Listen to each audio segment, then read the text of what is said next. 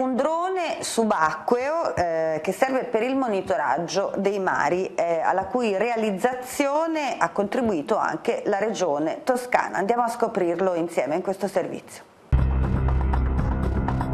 Quello che vedete in queste immagini è un drone subacqueo, un sommergibile lungo poco più di 3 metri e mezzo, pesante 800 kg e in grado di muoversi nell'acqua in totale autonomia oppure teleguidato da un operatore via wifi o attraverso un cavo in fibra ottica. Si tratta del fiore all'occhiello dell'ultima edizione di Toscana Tecnologica, la fiera dell'innovazione organizzata a Firenze, tanto da meritarsi un posto d'onore all'ingresso dei padiglioni un prototipo realizzato a Livorno dalla VAS, azienda della galassia Finmeccanica, in collaborazione con la Scuola Superiore Sant'Anna di Pisa e finanziato in parte dalla Regione Toscana attraverso i fondi europei del settennato 2007-2013. La Scuola Superiore di Sant'Anna ci ha realizzato una suite sensoriale per l'analisi delle acque,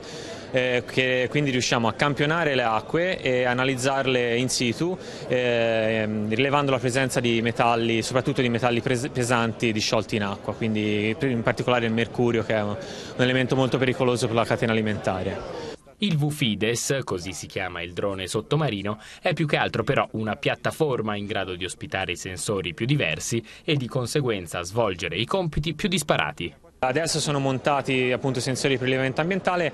ma potrebbero essere integrati o sostituiti con altri tipi di sensori, in particolare acustici per la scansione del fondale, eh, quindi ricostruzione e imaging 3D del fondale. Piuttosto che per monitorare le condizioni di strutture sottomarine come le piattaforme petrolifere. Per progettare e costruire VFIDES ci sono voluti tre anni e il debutto sui mercati è ormai imminente. Abbiamo raggiunto un buonissimo livello di sviluppo, abbiamo testato a mare funzionante ed ora stiamo proponendoci sul mercato per diverse applicazioni appunto verso eh, aziende dell'oil del settore oil e gas, verso centri di ricerca o verso anche il settore come marina militare che potrebbe utilizzare oggetti di questo tipo per mh, mm, sminamento o protezione civile.